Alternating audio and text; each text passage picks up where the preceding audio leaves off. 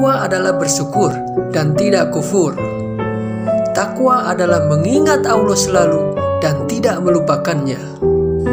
Takwa adalah menjalankan perintahnya dan menjauhi larangannya.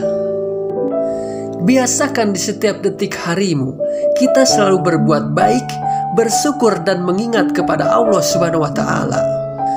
Karena di setiap detik harimu itu, kita akan menjumpai yang namanya ajal kita. Jika kita suatu saat menjumpai ajal kita, kita dalam keadaan berbuat baik, bersyukur dan mengingat kepada Allah Subhanahu wa taala, maka insya Allah wafat kita husnul khotimah. Dalam keadaan sebaik-baiknya keadaan yaitu dalam keadaan iman dan Islam bertakwa kepada Allah Subhanahu wa taala.